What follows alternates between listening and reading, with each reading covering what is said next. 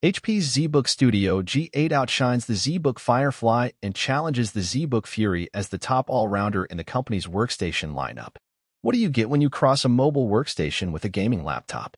The HP ZBook Studio G8 starts at $1,894 for $1,488 is tested, is often ordered with one of NVIDIA's formerly known as Quadro professional GPUs, but is also available with NVIDIA gaming graphics like our test unit's GeForce RTX 3070, and its keyboard has RGB rainbow backlighting that would look at home on a deluxe gaming rig.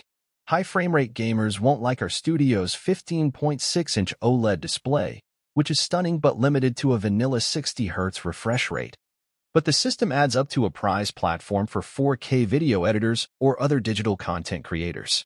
We've reviewed most of HP's ZBook laptop workstations, from the heavyweight flagship ZBook Fury 15 G8 to the ZBook Power G8 that targets engineering students and other budget-minded users.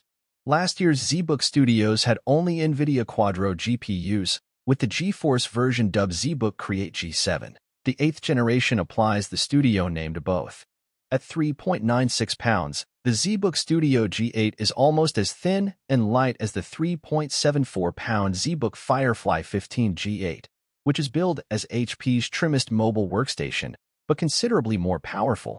The $1,894 base model has an Intel Core i7-11800H CPU, 16 GB of RAM, a 256 GB solid-state drive, and a 1080p IPS screen backed by NVIDIA T1200 graphics.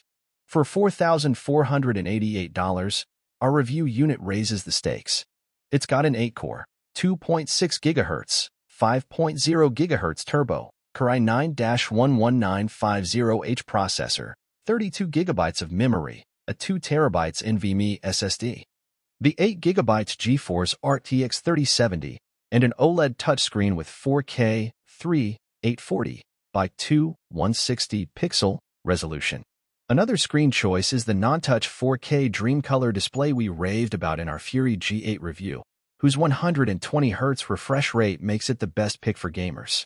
The aluminum-clad HP measures 0.69 by 13.9 by 9.2 inches HWD, making it minutely bigger but a bit lighter than the Dell Precision 5560.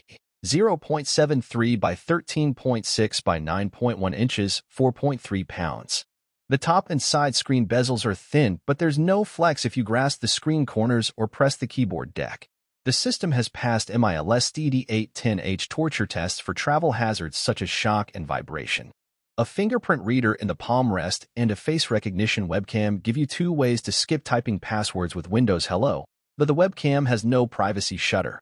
Next to the power connector on the studio's right side are two USB-C ports with Thunderbolt 4 functionality, an SD card slot, and a mini DisplayPort video output.